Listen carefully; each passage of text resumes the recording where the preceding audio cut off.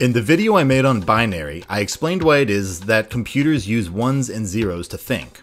The ones and zeros represent the state of a single electrical cell inside the computer, which can be one of two states. But is this the only way of doing it, or are there other options that let us work with more than just two states? Well, actually, yes, there are. And in the early years of computer engineering, people experimented with computers that could use base 3, base 8, base 10, and even base 16. So why were these methods abandoned in favor of binary? If you want to know, then this video is just for you. So to clarify one thing, when we refer to a transistor being on or off, what we really mean is that it's either a high charge or low charge respectively. An on cell has a very high amount of electricity stored in it, or moving through it, while an off cell has a low amount. These states determine whether or not a single cell represents a 0 or a 1 in our binary code. So if a computer can read and write data to these cells by sensing or storing different amounts of electrical charge in each one, why can't we get more specific with them? What if, instead of less than 50% charge being a 0 and above 50% charge being a 1, we divided it into four segments, like this? Now, 0 to 25% charge could be a 0, 25 to 50% could be a 1, 50 to 75% could be a 2, and 75 to 100% could be a 3. With this method, each individual cell could have four states, meaning that each byte of data could be a number designed around base 4 instead of around base 2. Where a byte of 8 transistors could have 256 values with base 2, our new system could let us have 65,536 values with base 4. Way better, right? Better yet, what if each cell could represent 8 or 10 or 16 different states by making the bit even more precise? Well, as mentioned above, these methods were experimented with. The amount of states a single cell of information can hold is referred to as a logic level. Binary is called two-level logic, and the one I just described would be known as four-level logic. The fundamental problem with using logic levels greater than 2 to represent numbers is reliability. While computers are really good at storing and reading the electricity in each cell, the exact voltage tends to fluctuate a little bit. Take a look here. The sort of natural fluctuation of electricity means that the level of voltage in this cell of data wobbles off by, let's say, 20 percentage points.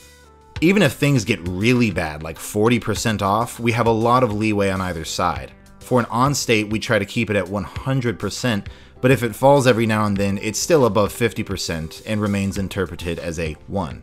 But in our method of splitting into fourths, even the natural fluctuation of 20% gets dangerously close to crossing the line, and the higher the amount of states in each cell, the more specific this voltage has to be, and by extension, the more likely it is to be wrong. It's especially difficult to try to balance the voltage in the middle where it can't be too high or too low. When we only have two states, for off we can keep it as low as possible, and for high we can keep it as high as possible. We don't really have to worry about overshooting in either direction. This is the primary reason we settled on base 2. If a single unit of information is wrong, then the entire number represented by the byte is wrong. And if your byte is wrong, the data is wrong, your code won't work, and your instructions will be misread. Everything just falls apart. It only takes one bit of data being wrong for this to happen making any advantage gained by having larger numbers useless. So reliability is of the utmost importance here. Another issue that comes up with having these in-between states is something known as the rising edge and falling edge problem. If we have our 4-state cell here set to high voltage, and we need to rewrite it to be low voltage, we can lower it, but it runs the risk of briefly crossing over the middle two states. Even if this only happens for a fraction of a second, it can cause big issues for running a program. With our two-state system, it's either one or the other, we don't have this problem. So to summarize, with something as tiny and simple as a single cell of data, you don't want to overload it with tasks. It's easy for them to keep track of I have a lot, or I have very little, but it's hard for them to keep track of I have some, or I have slightly more than that. Now there are a few other interesting facts about all this. With most computers, a high charge represents a 1 and a low charge represents a 0, and this is what's known as an active high signal system. However, some systems use the opposite, where the low charge represents a 1 and a high charge represents a 0. This is referred to as an active low signal system.